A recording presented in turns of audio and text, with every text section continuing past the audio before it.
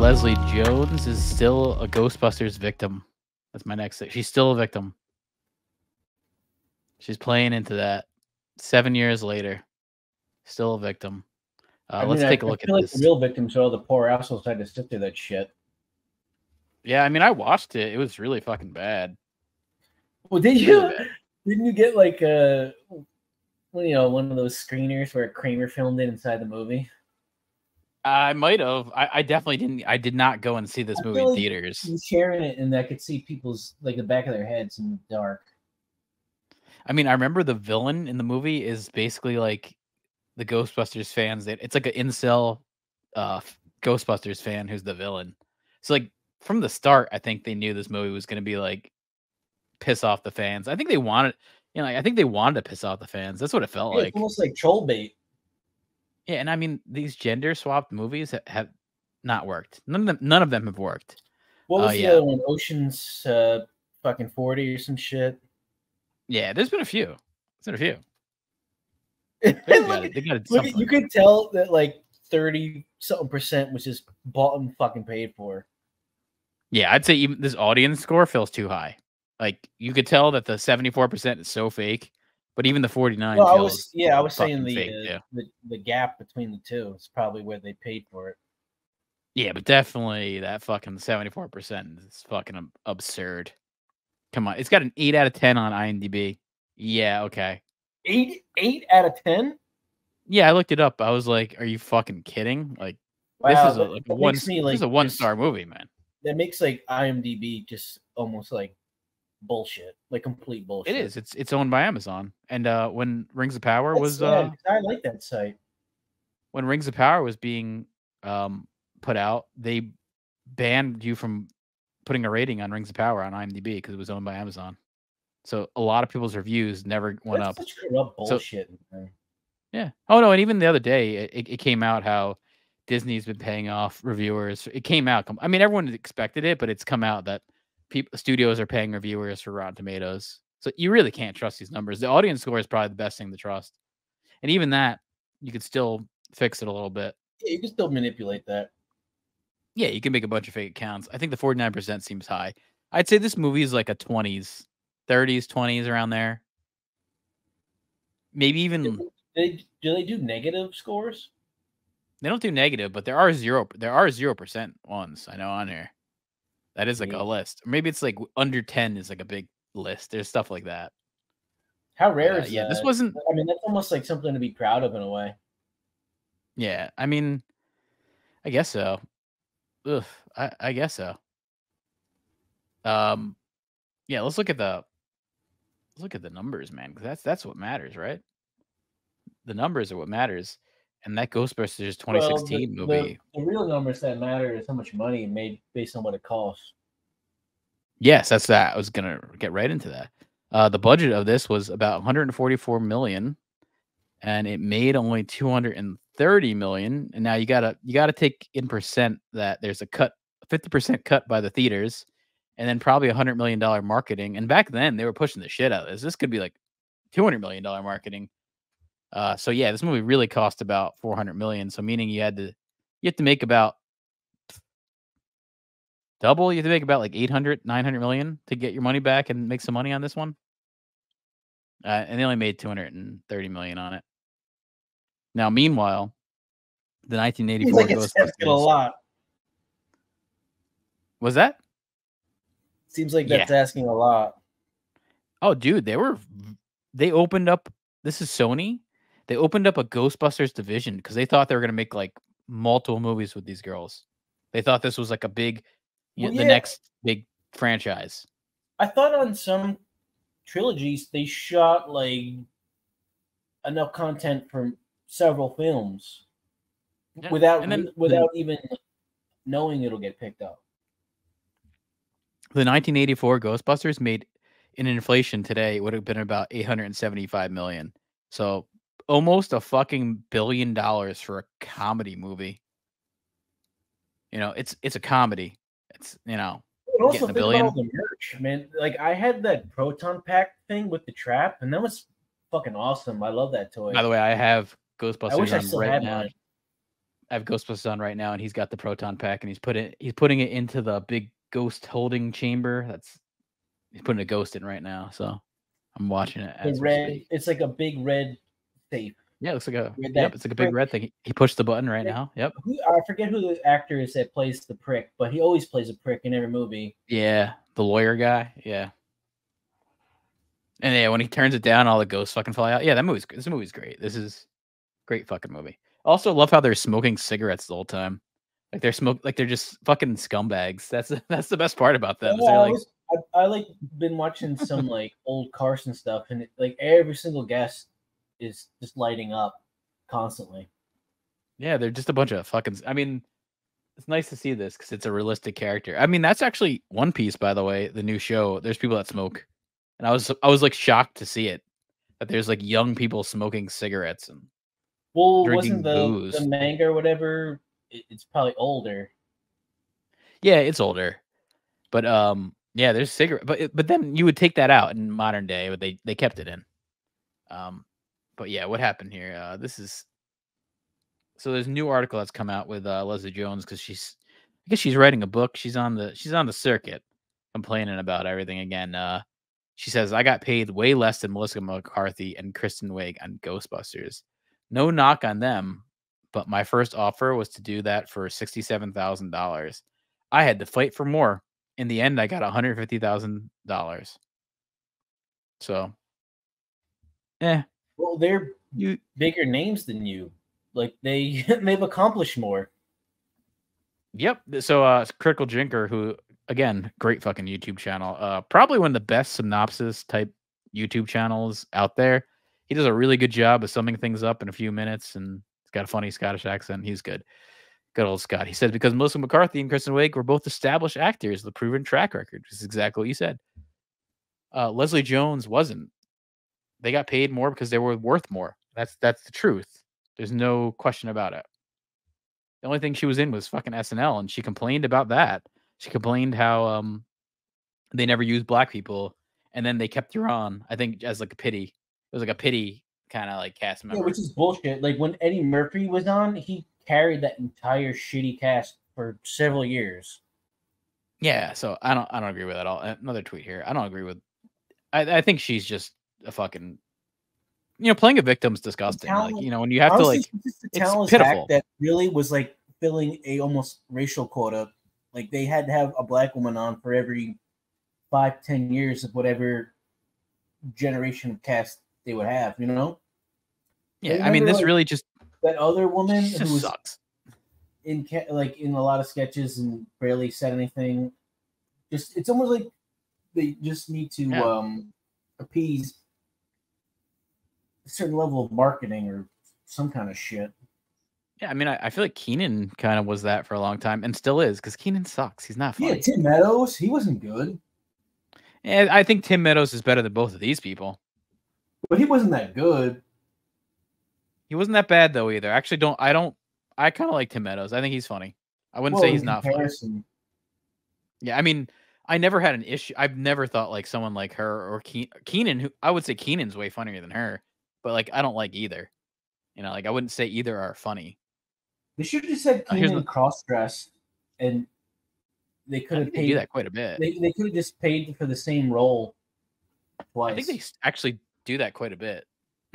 like still now, I don't know. Uh, but this guy says Well, it's they- absolutely Dave normal for says actors. like there's this whole um, lineage of Hollywood trying to force black men to wear dresses. Uh, Yeah, look at um Jamie Foxx on um Yeah, Living Color Foxx as did. Shanae. Shanae. um, Shanae. Martin Lawrence. Yeah. Then Big there's Mama. um that SNL sketch where Kevin Hart dresses like that little girl that was in that uh Beast of the Southern Wild movie. Yeah. Uh, Wayans brothers. He blew up right after that. You know, like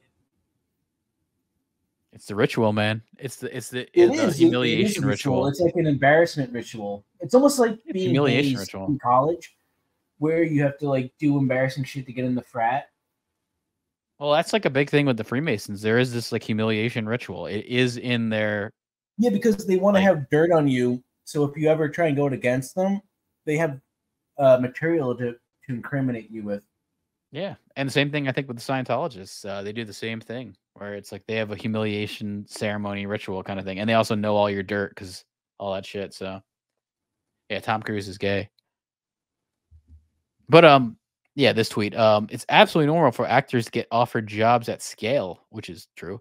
If the movie will boost their profile, it's not always about the movie, but the ones that come after. Yeah, like this was because you were not famous and maybe that would mean you would get famous later, but definitely not with that fucking movie. Tell you that. And uh yeah, this article is uh fucking infuriating. It's fucking stupid. She sucks. This this this whole thing I'm gonna title this video later called Leslie Jones sucks because she sucks. Um, she opens up about Ghostbusters, uh, death threats, Jason Reitman's unforgivable comment, and uh, yeah, more bullshit. Um, what was his comment? Yeah, I'll get into it. Um, she's like ugly as fuck, and it was hard to even. No, he never. Dude, he never hard said to edit that. the so... shit out of this because I had to keep looking at this fucking freak every goddamn couple of minutes. Honestly, what he said was nothing, but she considers it unforgivable. It's like embarrassing. It, like what he said was so. I would be surprised if, if Leslie nothing. Jones is actually a man. Has there been any that kind of? Be, uh... Can you be surprised this day and age? DNA test. But she writes, it wasn't just racism and misogyny either. A lot of it had to do with the fact that I was playing an MTA worker as though that was something I should be ashamed of. I was a comic. I was used to being heckled, heckled, but for every piece of shit on Twitter, I had to had to reply. Yeah, that's also ridiculous that you had to make this like a, you know, a big issue and go back at the fans. She says I was being sent films of being hanged, of white guys jacking off to my picture, saying, "You fucking and we going to kill you. I don't think so. Why are people so evil to each other? How can you sit and type that? Who does that? And then here's the unforgivable comment, by the way. Jason Reitman on on a podcast because you know he did that Ghostbusters Afterlife movie, which was way more successful than this one, by the way. And I think fans actually I don't think they liked it a lot, but it was still like more than like it wasn't embarrassing like this one. This is the one with uh, um Paul Rudd. Yeah, and the Stranger Things, and the Stranger uh, Things little kid. kid. Yeah, yeah, little faggot. Yeah. Uh, yeah, he said all he said was on a podcast that Afterlife Ghostbusters was trying to go back to the original technique and having the movie feel more for the fans, you know, and that to her was unforgivable. That comment there, and um, that's a lot of the stuff with it they attacked the fans. Said, I like mean, she looked like, uh, like no, that's it. Ugly slob and um, no, he, didn't even comment on the movie. He just said that I, I wanted to have this movie get back more for the fans. That's it. But that was unforgivable. And then even um, you know, Seems like this is classic stuff for me. But I I wrote one time wrote Paul Feig. I just said this movie doesn't look that good. That's all I wrote, and I I tagged Paul Feig in it, and then he and then he blocked me just for saying his movie doesn't look that good. Quote that good. This was when the trailer came out. I didn't even say like, "Oh, you're a fucking douche." Trying to lean into the gay stuff. I think that's his real name. I believe it's his real name, but uh, asking for it then. Yeah, fucking embarrassing though. Like you had to block me for that. Okay, I'm fine with it. I'm not missing out on Paul Feig's tweets, or maybe I am. I don't know. Maybe well, I am. He's writing a memoir. Can we look up like the last couple things that he's tweeted out? I can't. I can't see it. You, you might go look it up. you have other accounts? No, I don't have another account. All right, hold on. I'll look it up. Look it up. Has he? Does he tweet? He might not even tweet. What's his name? Paul Paul Faggot. Paul Feig or something. Okay, but, um, so he said it was made uh, clear to me yeah, she writes it was made clear to me. Oh, okay. Yeah, but she said it was made clear to me that the process. I was lucky to be on the movie, which, which by the way, you were, you were, you're lucky to be on any movie because you, you you don't really have like, you don't really have this obvious talent that I think like Kristen Wiig has. I think not my favorite type of comedian, but I think Melissa McCarthy definitely has more than you. Um, yeah, so her memoir, Leslie fucking Jones, is now available for purchase. So that's why this is coming out. So she's playing victim once again. You gotta play that victim card. Um, doesn't talk about how no one wanted to see the movie because of it was an all female cast, but it was really just because the movie sucks shit.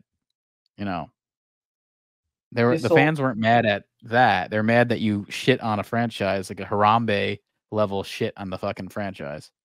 half of Paul Feig's uh, latest tweets are in relation to some anti-LGBT uh, murder that happened.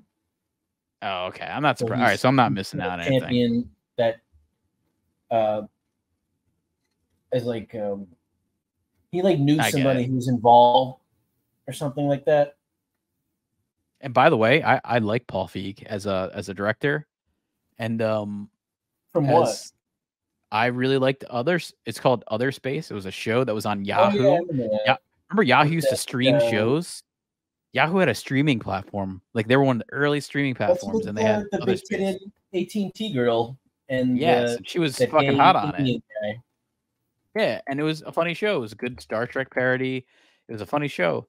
Uh, I liked it, and then I also like. I, I'm pretty sure he's done Arrested Development episodes. Um, he's in Heavyweights, which I like.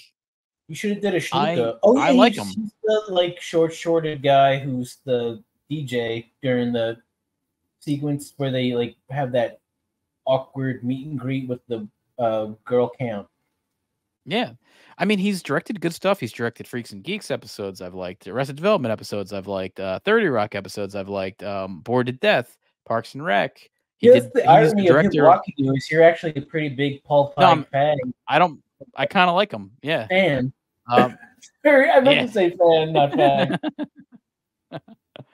well, I, I consider myself a Paul Feig, Feig, Fag Feig, whatever. Uh, but yeah, Bridesmaids was funny. I, I think it's an undeniably funny It's movie. okay. I'm not even. That's a that's a very female cast, and I thought it was funny. You know, You know what it feels like? It, it feels like a Judd Apatow movie, just with women instead. he could have produced it. You're you're right on that. There's some there's some vibe on that that feels like it. I wouldn't be surprised. Um, yeah, I mean, Kristen Wiig's pretty funny when she's uh when she's, She's on. I alright, like her in uh, she's not bad. And that was produced by Judd Apatow, by the way, Oh, okay, that makes sense. and his wife, and his wife too, because she's got to get that. man? He's got to get that. He's got to get that money. He's got to put her on the list so he can get double the money.